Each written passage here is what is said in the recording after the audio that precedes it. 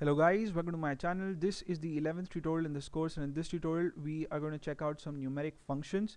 So I have a file opened up in my text editor, it's called numbers2.php and uh, on line number 6 I have the opening PHP tag, on line number 13 I have the closing PHP tag. And between the opening and closing tags I have some uh, echo statements.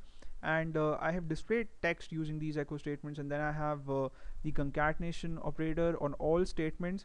And then I've used uh, some numeric functions to perform certain operations.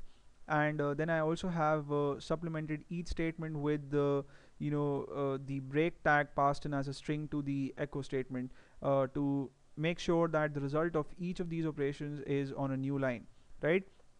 So the first function that I have in this file is the ABS function or the absolute function.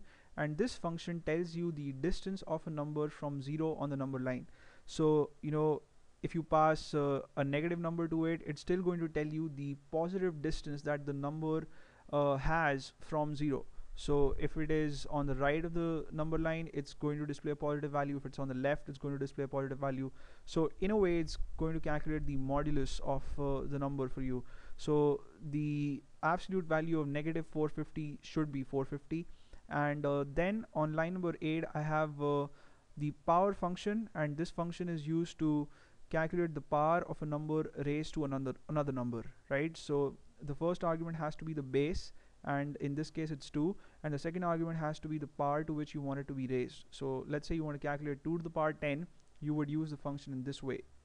POW the name of the power function and then within parentheses you'll first type in 2 that's the base and next you'll type in the power right? Then on line number 9 I have the random function and it's called rand in PHP and uh, this one uh, doesn't take in any argument you know it's just a set of empty parentheses followed uh, you know I mean the word rand followed by a set of empty parentheses. And uh, it would generate some random whole number value for you. On line number 10 I have the rand function in a modified way. So this function takes in two arguments. The first one is uh, the lower limit and the second one is the upper limit. And between these two numbers a random value would be generated and then on line number 11 we have the fmod function. And this one tells you the uh, remainder of a division operation. So you want to divide 27 by 5 and you want to check out the result of the uh, the remainder of the result of the division operation. On line number 12 I have the sqrt function short form for square root and this one uh, is used to calculate square root of numbers and I have passed 225 as a value to it. So the square root of 225 is 15 that's what we should see. So I'll save the file and uh, this is how the file looks like in the browser. The absolute value of negative 450 is 450 the result of the power operation 2 raised to the power 10 is 1024 and uh, you know a random number generated using the rand function is 252 and a random number within the range 30 and 45 I guess it was yup is uh, 42 and then the remainder of the division operation uh, 25 or 27 by 27 5 I guess it was yep so that is 2 and the square root of 225 is 15 so if I would refresh this page you know the absolute value won't change the result of the power operation won't change the remainder fmod function returns is still going to be the same the output of the square root function is still going to be the same but we are going to see